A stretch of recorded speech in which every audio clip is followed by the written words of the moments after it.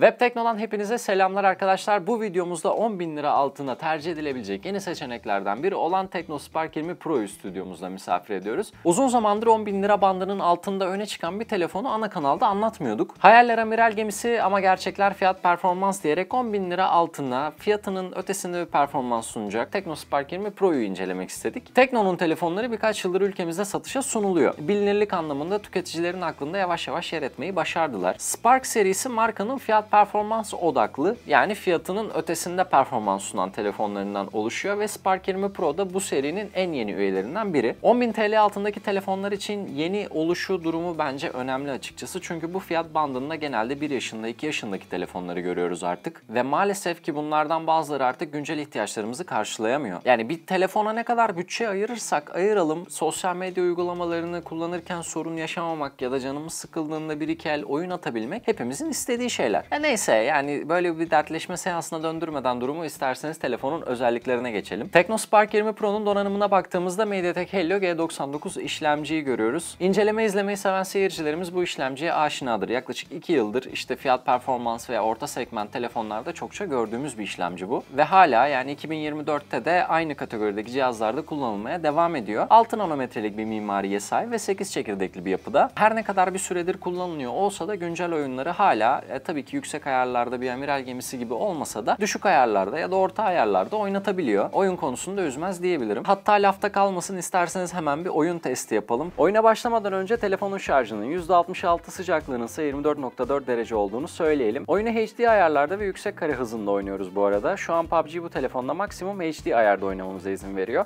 En optimize ayar bu diyebiliriz bir bakıma. Herhangi bir sorun yaşatmadı biz oynarken ama biraz ısındığını hissettim tabii. Ya bu zaten her telefonda oluyor. Telefonun sıcaklığı 15 dakika. Oyunun ardından 32.8'e çıktı. 8.4 derecelik bir artış var. 32 derece seviyesi oynarken rahatsız edecek bir seviye değil ama inceden elleriniz terleyebilir. Şarjsa %61'e düştü. %5'lik bir kayıp var ve normal bence. Çoğu telefonda aşağı yukarı benzer sonuçlar alıyoruz diyelim ve devam edelim. Telefonun diğer donanımlarına baktığımızda iki farklı RAM seçeneği görüyoruz. 8 GB ve 12 GB. 8 GB versiyonda artı 8 sanal RAM desteği yer alırken 12 GB versiyonda artı 9 sanal RAM seçeneğimiz var. Depolama ise iki versiyonda da 256 GB olarak geliyor. 8 GB olan model 9499 bandında satılırken 12 GB olan modeli 12999 hani 13000 lira bandında görüyoruz. Eğer bütçeniz varsa 12 GB olan versiyon tabii ki daha performanslı olacaktır. Bizim elimizde şu an 8 GB'lık versiyonu var. Yani az önce gördüğünüz oyun performansı 8 GB'lık versiyona aitti. Ha bir de eklemeyi de unutmayayım artı 8 sanal RAM de açıktı. Merak edenleriniz için sanal RAM açık ve kapalı halindeki Geekbench skorlarını da sizlere gösterelim. Ayrıca telefonda 5000 mAh'lik bir batarya görüyoruz ve kutudan 33 Watt'lık bir hızlı şarj adaptörü çıkıyor. İsterseniz donanımı şimdi burada bitirip biraz da ekran ve tasarıma bakalım. TeknoSpark 20 Pro Full HD Plus çözünürlüğünde 6.78 inç IPS panel ekrana sahip. Bu ekran bize 120 Hz ekran yenileme hızı sunuyor. Bir de bu fiyatta güzel bir özellik olarak adaptif ekran yenilemeyi görüyoruz. Bu özellik ekran yenileme hızını otomatik olarak değiştiriyor. Yani işte haber okumak gibi, webde gezinmek gibi 120 Hz'e çok da ihtiyacımızın olmadığı durumlarda adaptif ekran yenileme, yenileme hızını düşürüp bataryadan tasarruf etmemizi sağlıyor.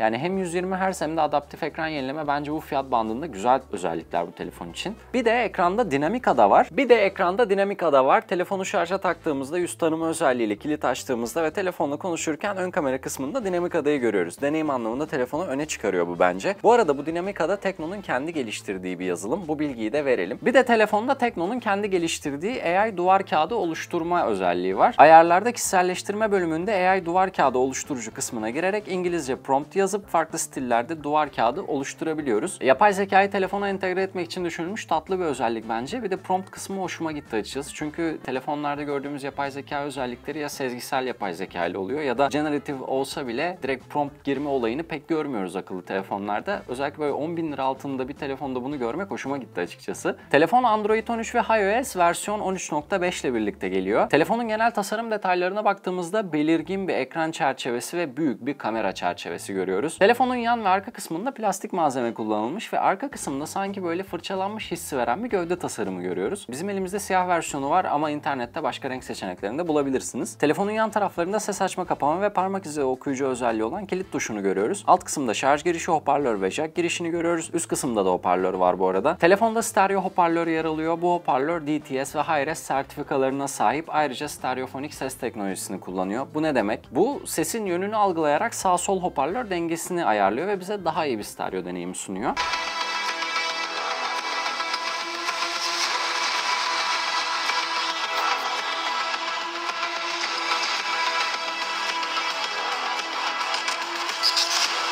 Biraz da kamera tarafına bakalım isterseniz. Teknospark 20 Pro'nun kamera çerçevesine baktığımızda 108 megapiksellik bir ana kamera, 2 megapiksellik bir makro kamera ve bir yapay zeka kamerası görüyoruz. Ana kamera f1.7 diyaframa sahip ve ISOCELL'in Nonapiksel teknolojisini kullanıyor. Nonapiksel teknolojisi düşük ışıkta 9 tane pikseli bir araya getirerek tek bir pikselin ışık duyarlılığını arttırıyor. Ve böylece düşük ışıkta daha iyi bir kamera performansı sağlıyor. Ön kamera ise 32 megapiksel ve f2.2 diyafram değerine sahip. Geniş açı özelliğine sahip olan kamerada arka kamera kamerada gördüğümüz sosyal teknolojisinin bir benzeri kullanılıyor. Ayrıca düşük ışık için kamerada Teknospark 20 ile hayatımıza giren çift dahili flash da yer alıyor. Bu flash tonunu beyazdan sarıya göre ayarlayabiliyoruz ve istersek gücünü de işte düşük orta yüksek diye değiştirebiliyoruz. Video tarafında telefonun hem ön kamerasıyla hem de arka kamerasıyla 2K çekim yapabiliyoruz. Bu fiyat bandı için 2K çekim yapabilmek öne çıkan bir özellik bence. Bu arada ikili video ve eğer çekim özellikleri de yer alıyor telefonda. İsterseniz yavaştan şöyle bir toparlayalım incelemeyi dostlar. Teknospark 20 Pro genel hatlarıyla 10.000 10.000 TL altında tabii ki her ne kadar bir amiral gemisi performansında olmasa da bize güncel oyunları düşük ayarlarda bile olsa oynatabilen, uygulamalar ve oyunlar konusunda iş görecek performans sunabilen bir telefon. Son zamanlarda görmeye başladığımız yapay zeka özelliklerinden de böyle bir iki tanesini bazılarını işte örneğin yapay zeka duvar kağıdı oluşturma gibi ya da kamera kısmında bahsettiğimiz sosyal nanopiksel teknolojisi gibi yapay zeka özelliklerini de bize sunuyor. Duvar kağıdı oluşturma özelliği herkese hitap etmiyor. Herkes bunu her gün kullanmaz tabii ki ama kamera özellikleri deneyimi birebir etkiliyor tabii ki. Eğer 10.000 TL altında bir telefon arayışındaysanız Teknospark 20 Pro'nun 8 GB'lık versiyonunu ama böyle 13.000 liraya çıkabiliyorsanız 12 GB'lık versiyonunu göz atabilirsiniz. O tabii ki daha performanslı olacaktır 8 GB'a göre. Sizler Teknospark 20 Pro'yu nasıl buldunuz dostlar? Aranızda Tekno telefon kullanan varsa deneyiminizi çok merak ediyorum. Lütfen yorumlarda bahsetmeyi unutmayın. Başka bir web tekno videosunda görüşmek üzere. Hoşçakalın.